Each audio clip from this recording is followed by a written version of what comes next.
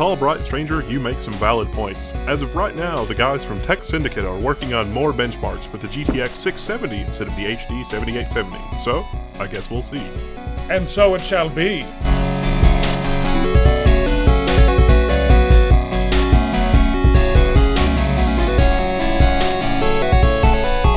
Okay, so I think we really did open a can. I started the last video with like, we're about to open a can. And I meant that we were going to open the can of the AMD processor, but we opened the can of worms and bit off more than we could chew, and everyone is yelling and screaming. And I think the biggest complaint that everyone has is that the GPU was bottlenecking. Oh my God, it's bottlenecking the 850 and it's bo- or the 8350 and it's bottlenecking the 3570K. Hey guys, run it at 800 by 600 so we can. T- no. No. No. This is not a CPU review. What we are doing, we're taking components that people are using in the real world and we're trying to do an unbiased look at what people could possibly put together and how it would run. And are, are you going to play games at 800 by 600 or 720p if you have a 7870 and a card that will run it and push it past 30 frames a second? No, you're not. Well, and the, the fatal assumption there, too, is that, you know, if the GPU is bottlenecking, that all the platforms will bottleneck identically. And that's not what we actually saw in the real world. No, it's it's kind of a mess. So what we've done anyway is we've picked up an EVGA uh, GTX 670 and we did all the benchmarks again. The other thing that everybody wanted to see, people kept saying that the i5s overclock better and that the i5s have more gains when overclocking. So we overclocked the AMD 8350 to 5 gigahertz, and we overclocked the 3570K all the way to um, 4.5 gigahertz. So that's over a gigahertz that we were able to gain here using the EVGA Stinger motherboard. Uh, that's the little ITX motherboard. We tested it that way, and we also tested the power consumption because that's the third thing. People were like, okay, you can buy the AMD and save a couple dollars, but you're going to spend a billion dollars over a three year period in electrical charges, bills. The kilowatt hours are going to explode out your ears. So, no. So Let me we're just gonna- spoil that for you right now. Yeah, no. no, And and if you're an Intel fan right now, the Intel is still has better per core performance usually, and a lot of the productivity tests are good. And as far as the gaming platform, it's really good, and That- it also that- uses a little bit less power. That was the really weird thing. A lot of people were immediately like, "Oh, these results totally contradict the results elsewhere," and they really, in a few cases, they do. But we're going to explain that. But mostly, they don't. Yeah, I mean, if you want like low res benchmarks, check out hardware.info. Uh, uk.hardware.info. You- It's a British website. They, they ran Crysis 2, uh, DirectX 9 at 800 by 600, and the top three CPUs in that test were the FX 8350, the, the FX 8320, and the FX 6300. That's the six core. So there you can see that there are some people out there who are agreeing as far as the gaming goes. Um, again, this is all about gaming. We're, we're talking gaming. Uh, and also, if you check out the Hardware Canucks review, and those guys seem to be very, very unbiased. That's what we are. We're totally unbiased people. Like these guys are obviously paid off by AMD. Let me tell you something. We're using all Intel. In, Wendell, what do you have? Intel, the 3930K, the six core. Yeah, you got the six core. I've got the 3820. Uh, we've got the 3770 floating around. This is the i5 right here. I've been playing with that thing for a long time. So we've got Intel on the building. We just happened to buy an AMD because I was like, hey, impulse buy. And then I was like, oh, what the hell? So that's really what happened, and that's why this came about. The benchmarks in this one, we're not going to do low res benchmarks. I'm sorry, guys. We're not going to do it. What I want is real world performance at a resolution that you might be using at home to help you better make a decision when you're building a gaming rig. That's it. That's all I care about. I don't care about all the hype. I don't care about all the nonsense. And I freaking hate synthetic benchmarks. They're not. There was kind of a Cinebench scandal a few years ago. In- Intel has got a compiler that compiles programs, and I had written some stuff in their compiler that is like, oh, you're using an Intel CPU, then do this super optimized code path. But if you're using AMD, we're going to do it the most rock dumb simple way possible. And that was really bad. There's a there's actually a patch that modifies Cinebench to always think you're using an Intel CPU, and they did that a few years ago. And the AMD performance when you patched Cinebench to not detect an Intel CPU was much higher, and it was kind of a scandal. Yeah, and that's one of the reasons why we always benchmark things like Trine 2 independent games uh, that don't really have optimizations for one or the other. Uh, one other thing I want to mention: we did apply a hotfix. Windows, there is a hotfix for Windows. Two Uh, of them. Two hotfixes, and they're not available through Windows Update yet. You have to actually email. Uh, and and then email uh, Microsoft, and then they'll send you the hotfixes. There's a problem with um, the CPU scheduler in, in Windows 7 and maybe Windows 8, but it, definitely Windows 7. And uh, there's a hot fix that you can get, and it, because Windows will just randomly move uh, processes that are using a lot of CPU time from core to core to core, and it doesn't necessarily do that in a way that is very efficient on the Yeah, it ends AMD. up clearing the cache when it shouldn't clear the cache. And Yeah, it's not not a good, but the patch fixes that, and so this may have something to do with it. now, first off, before we get to the benchmarks, let's go through the specs on each of these systems. For the Intel system, we're using the EVGA Z77 Stinger. It's a mini ITX motherboard, but it is it does not slack as far as the features go, and it's one hell of an overclocker. We were able to get the 3570K up to 4.5 gigahertz with not much trouble at all. Uh, we're using 2100 megahertz ADATA RAM. Uh, we've got the uh, EVGA GTX 670, and I'm using the newest driver set currently, which is uh, 310.90. Uh, we're also using the ADATA SX900. Uh, that's an SSD, 256 gigabyte SSD, and the read speeds on that are around 550, and the write speeds are around 550 as well. So that's a pretty fast SSD. And for the cooling unit on this, we've got the Corsair H100. Um, and then on top there, you can see I've, I've threw a, um, a 200 millimeter uh, NZXT fan just to keep everything on the motherboard nice and cool, especially those VREGs because we are doing a pretty crazy overclock. For the AMD system, we're using the Asus M5A99FX Pro Revision 2 motherboard, uh, and um, we've overclocked the AMD. Same everything else, same GPU, same, you know, Everything. same everything.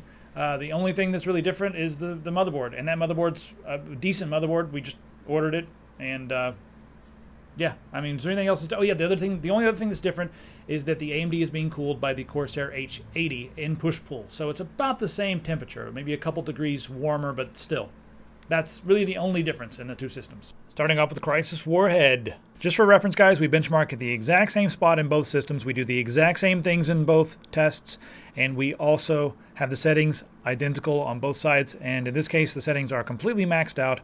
And you can see here at 1080p and 1440p, uh, the AMD wins at stock. However, with the overclock, uh, the Intel is a little bit faster at 1080p, uh, but it cannot quite keep up at 1440p. Arma 2 Operation Arrowhead. Uh, benchmarked at the exact same location on both systems with the exact same settings. The AMD absolutely destroyed the i5 3570K. It wasn't even close. Far Cry 3 is another game that seems to favor the AMD. As you can see, AMD easily beats Intel in this one as well. It's, again, not, not even close. Now, in our last test, uh, the AMD did beat the uh, 3570K in most of our Metro tests. With the new drivers, the GTX 670 and the overclock, the i5 3570K is ahead of AMD in every category overclocked, stock clocked, 1080p, and 1440p. The i5 3570K wins by a few. We wanted to do Natural Selection 2 as well because that's a very CPU intensive game, so we did that. And as you can see, the AMD is slightly ahead of the i5 3570K. I also want to note that we did gain a lot of FPS in this game with the overclock, and that makes sense to me because this game does like the CPU. Alright, let's talk about Skyrim and piss off all those neckbeards. Now, we do run a very deconsolized version of this game. At 1080p, uh, the AMD wins at the stock clock. Other than that, it's i5 all the way. The i5 also gains a lot at the 1080p overclock, as you can see here. One other thing I want to note is that at 1440p, it looks like we're having a little bit of bottlenecking, but the resolutions are still totally playable, and uh, both CPUs can play this game without much problem at all, even with the texture mods. But the i5 is the winner here. Trine 2. This game with all the filters is absolutely ridiculous. They even warn you when you uh, turn on full scene anti-aliasing that, hey, this is going to screw up your life. But we did it anyway, and we did the test. And this one, um, yeah. The overclock and the stock clock are almost identical in this, so that's telling me that there's some bottlenecking going on somewhere. Even with the overclock, we're not really adding that many FPS. Uh, it looks like a tie at real world resolutions. Uh, this doesn't really tell us much about the CPUs, but it does tell us that you can play the, this game, you know, on either CPU without any trouble. If you get that AMD, it's going to cost you eight hundred dollars a month in electricity.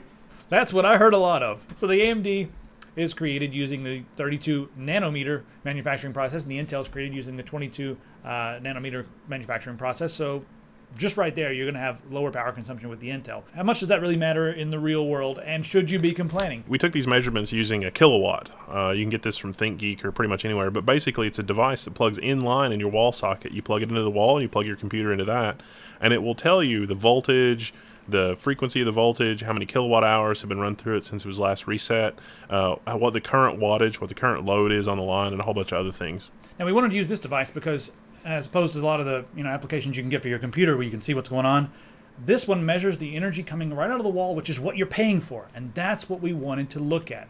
Uh, let's break it down with Logan's STFU formula for determining how much electricity costs when you're using these two parts. So we'll start off with the average price of uh, electricity in kilowatt hours and in dollars, and that's 12.8 cents per kilowatt hour in America. So the difference at the uh, stock clock in load, if you're gaming for like three hours a day, is 70 watts. Now, over three hours, 70 watts equals 0.21 kilowatt hours. We following here? So 0.21 kilowatt hours, uh, multiply that by 12.8 cents, and we get 0.2688 dollars per day, or about 2.7 cents a day. That's what you're paying. Difference. So in a month, it's about I don't know eight or nine dollars, and then in a year, around ten dollars. So every year that you have the AMD CPU, you're spending about an extra ten dollars a year in gaming. Now, over a three-year period, since the i5 is thirty dollars more, you're saving about a dollar with the AMD over three years, because up front, you're saving money. If we factor in interest, oh man, your head's going to start hurting. Now, to be fair, let's do this again with the overclock because most of you guys are going to be overclocking, and there is a bigger uh, gap between the two when you're overclocking. Now, at the overclock, uh, the AMD was 375 watts and the Intel was only 252 watts, so there's a bigger difference there of 123 watts. So let's do the math with 123 watts. So with an overclock machine, uh, AMD versus Intel, every year you're going to be spending about an extra $17. Over a three-year period, that's a difference of $50, but since the AMD is $30 um, less expensive, you're still, you know, only out 20 bucks over a three-year period. Honestly. Everybody, that's the STFU formula. Share it on the webs. There'll be, a, there'll be a, link to it on uh, Tek Syndicate. You guys can use it and share it. I guess if your electricity costs like five dollars per kilowatt hour, you might have a problem. But Yeah. then you're like talking a huge delta. I mean, even in like New York City, it's like, I don't know, 16, 17 cents. Here it's like 8 cents. So, guys, on Tek Syndicate, thank you guys for being awesome. As usual, I mean, that's why you guys are hanging out on Tek Syndicate, right? Everybody on YouTube, what's up? People on uh, Build a PC, I am not your enemy, I'm your friend. I want to help you guys get a good machine. I'm not motivated by any agenda other than my own, and my own is to have fun. Really, that's what we're doing here. We're having fun, we're benchmarking things. You guys can expect more benchmarks, and I really want to focus on organic, real world tests at resolutions that you guys may be using yourself. And if it's above 30 frames per second with the certain parts, that's something that you guys will be doing, right? If you guys can get 1080p at over 30 frames a second, would you not do it? I'm going to stand by my 7870 video from the other day because a lot of the resolutions were very playable at 1080p, and that's what you guys want because a lot of people are going to be looking at the i5 and the uh, and the AMD, and they're going to be getting a 7870, and that's a real world system that people are going to buy. Don't you think that they would, you know, be happy to know that the 7870 and the uh, the AMD A core were a better pair? I think I think they would. It's also cares? true that you know on average you want those things to be paired together really well. You don't want to make your rig too top heavy with too much GPU and not enough CPU, or vice versa. Yeah, you want to build a balanced system. Have fun with this video. I'm sure there'll be a few uh, haters out there. The, the- you know, there's a sale on Haterade down at the dollar store. it's it's a dollar. It's like why don't we just get an i3? No, No, honestly. people still talking about the i3. Or and the Pentium G680 or whatever. Okay, I mean, like- you guys can do that and like put like a you know a GTX 680 with an i5 or an, I mean an i3 or whatever in there, and it'll be basically like a putting a rocket on a tricycle. It'll go really fast until it explodes into a mountain. But no, it, it- that's a, it's fast, especially for the, the the games that only take advantage of two cores. But a lot of the games coming out now, a lot of the games coming out in the future, are only going to be uh, more optimized, and they're only going to run better with more cores. That's just the way the world is going. And as we see more and more hotfixes come out, and like the AMD FX platform, we updated the drivers on that. Um, you know, a lot of the a lot of the reviews that we talk about, and a lot of the ones that really really trashed it, were day one reviews. And this is not a day one review. We have more mature drivers. Uh, we have you know a more mature more mature platform and some hotfixes from from Microsoft. So it's a bit different now. At the end of the day, just look at all the information. Look at the data. Don't be a fanboy for one side or the other. Don't get butt hurt. Everybody loves that phrase, butt hurt. It's just great. so, and, and get what's best for you. You know, if you're getting a certain graphics card and the tests look good, do it. And as far as I'm concerned, if you're gaming and you don't mind 17 bucks per month or per year extra on with the power, the 8 core is it's a no-brainer for gaming right now for me. It just feels smooth and it feels really snappy in Windows too. We haven't done all those tests yet, but that's pretty much it for me. I don't know. It's like we don't. I don't believe that they got this result. It's made up. It's like, all right, neckbeard. Let's let's see. it's like here's some video. Enjoy that eight hours. Yeah, you know, there's some people that would go through it with a fine tooth comb and be like, "Wait a minute, something." but we photoshopped all of it. It's like the, the memory card glitched or something, and it's like I could tell by some of the pixels there's a cut here. it's like honestly, it's all After Effects. I mean, and we're robots. yeah, we're just an AI running somewhere. yeah, in an AMD factory that doesn't exist since they don't have a foundry anymore. Awesome. all right, guys, um, join, subscribe, and I'll see you guys next time.